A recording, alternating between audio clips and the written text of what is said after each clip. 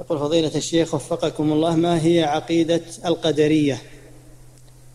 عقيدة القدرية على قسمين قسم ينفون القدر وهم المعتزلة ويغلون في في أفعال العباد ويقولون أنهم يفعلونها آه، يفعلونها باختيارهم وليس لله فيها تقدير ولا تدبير.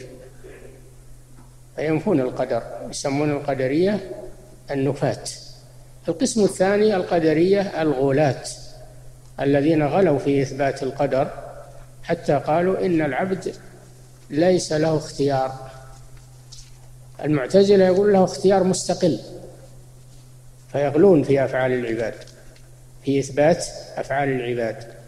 الجبرية على العكس يغلون في نفي أفعال العباد ويقولون العبد مجبر وليس له عمل وإنما هو كالميت بين يدي الغاسل أو كالريشة تحركها الهواء ليس لها.